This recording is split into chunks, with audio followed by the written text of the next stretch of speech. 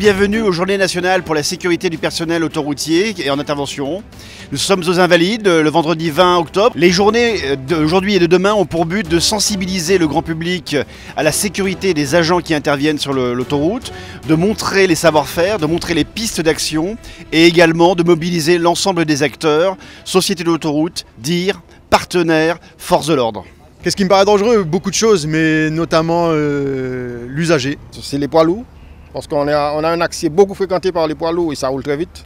Les routiers avec les ordinateurs embarqués. On constate énormément de, distractions, de, de gens qui ne sont pas ce qu'ils font euh, quand ils conduisent.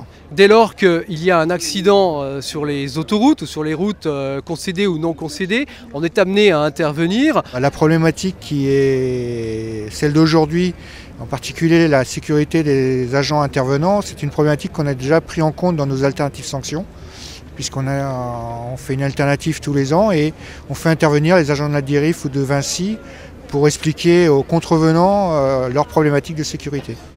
Je pense que notre ville est en danger. Euh, lors d'un heurt de, mon fourgon en 2011, euh, un poids, lourd m'a heurté lors d'une neutralisation de voie de droite et a poussé mon fourgon sur plus de 120 mètres. Nous aussi, on peut être victime d'un ce que l'on appelle un suraccident de la part d'un automobiliste euh, bah, qui peut être victime de somnolence à ce moment-là ou d'une absence de vigilance parce qu'il est distrait euh, par ce que l'on appelle les distracteurs. Ce matin, c'était l'objectif était de faire une reconstitution d'un accident qui s'est produit il y a quelques temps sur l'autoroute, d'un véhicule qui percute un fourgon de patrouilleur de l'autoroute, donc justement.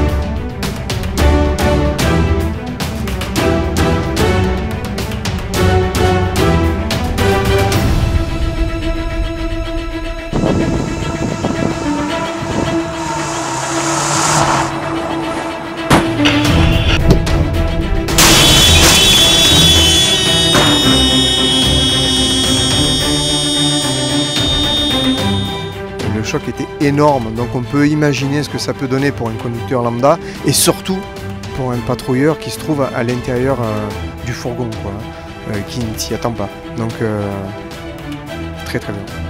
Prudence, vigilance, respecter la signalisation et les zones de chantier, les zones d'intervention sont des zones particulière où la vigilance doit être redoublée. Les automobilistes ont à leur disposition l'intégralité des moyens déployés par les sociétés.